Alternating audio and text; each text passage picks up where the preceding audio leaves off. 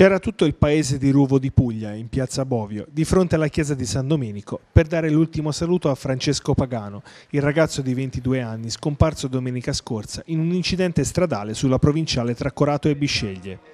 Tanta folla fuori e dentro la chiesa e tantissime lacrime per Francesco, morto per le conseguenze dell'impatto del suo scooter Yamaha con una Fiat Panda che stava facendo manovra sulla carreggiata.